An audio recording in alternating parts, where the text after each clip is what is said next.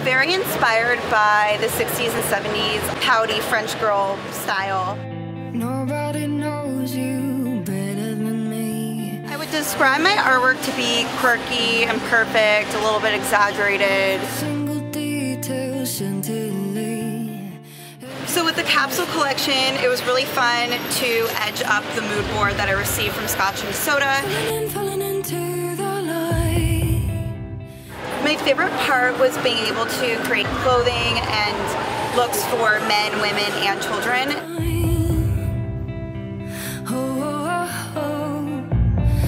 So I guess illustration brings fantasy to fashion.